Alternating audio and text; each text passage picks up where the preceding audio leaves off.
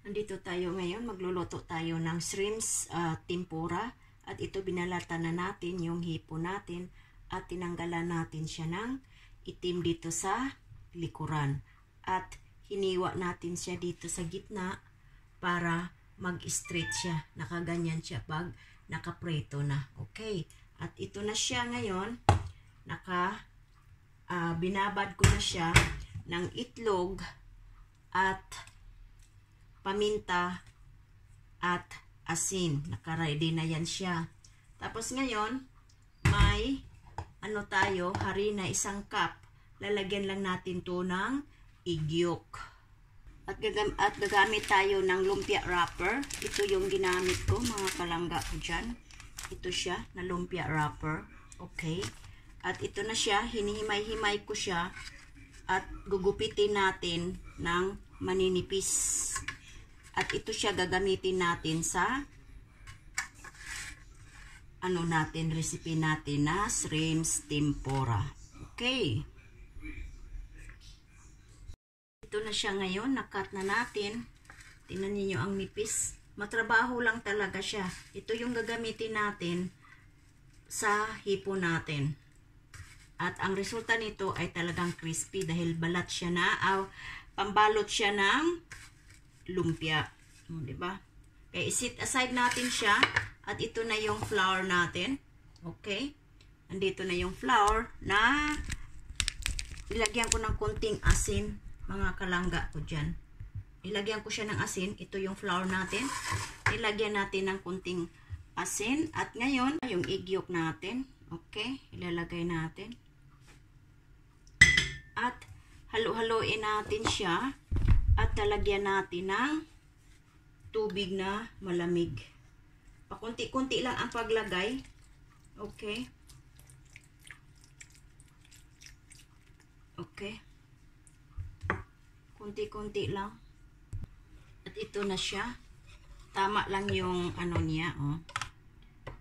So, umpisahan na natin. Ganito lang kasi ito ang paggawa. At ang mantika natin nito ay hindi malakas. Okay. Kaya, ganito lang siya ang gagawin natin.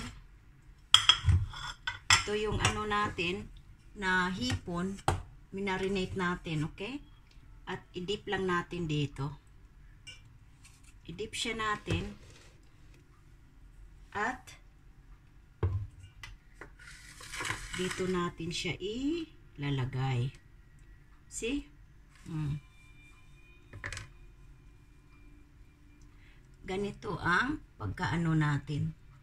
Hmm. At piprituhin na natin siya. At ilagay natin sa plato. Okay? Ganyan. Ready to fried na siya. Same, uh, same procedure, ididip natin uli. At iano natin dito sa kinakat natin na maninipis sa ano natin. Ra, lumpia wrapper. Okay. Hmm. 'Di ba? Lagay natin. Ganun lang ang pag-aano dito sa lumpia natin na our shrimps tempura. At ito na siya. Piprituhin na natin. Okay. Yan na, ilalagay natin. Hina-hina lang yung apoy natin, mga kalangga ko dyan. Okay.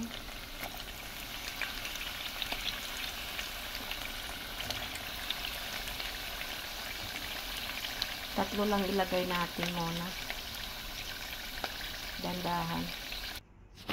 Ito na, luto na ang tempura natin na shrimps. Titikman natin mga kalangga ko dyan.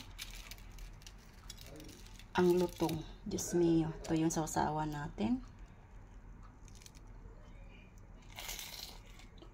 Hmm.